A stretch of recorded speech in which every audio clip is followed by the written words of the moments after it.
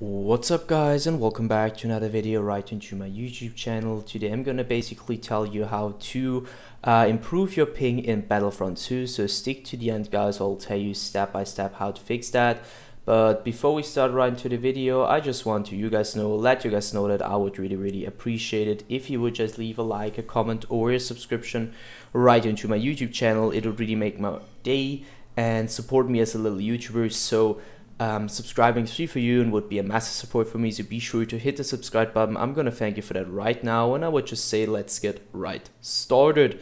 So in order to improve your ping, the first step I would recommend doing for everybody is obviously going to your router, unplug it, and plug it in again. This will basically solve 99% of technical pro um, problems. So do that but the next step is going to be to navigate down to the bottom left corner of your screen and opening up your settings where you're going to navigate to network and internet and go down to network and sharing center.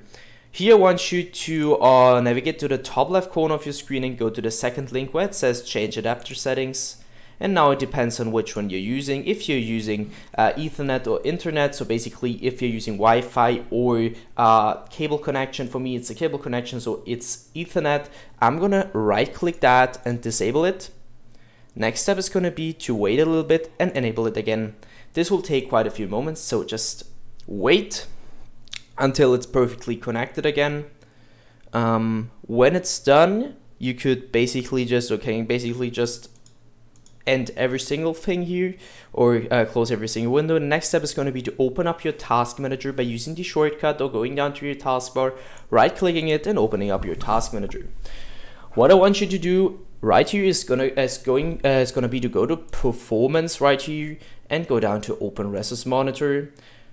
Now I want you to click on network, so on the fifth one right here, and wait 20 to 30 seconds just to be sure that uh, every single program which is currently using your Wi-Fi connection is perfectly loading in.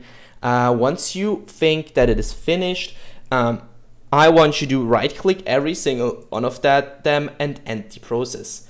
Uh, when it's done, you should be able to have more uh, or better ping and yeah, guys, I hope I could actually help you out of this one. If it was like that, just leave a like, a comment, or a subscription. I'm gonna thank you for that right now, and I would just say, let's get. I would just say that, um, yeah, that's it for the video. I hope you have a wonderful day. See you at the next one, and bye.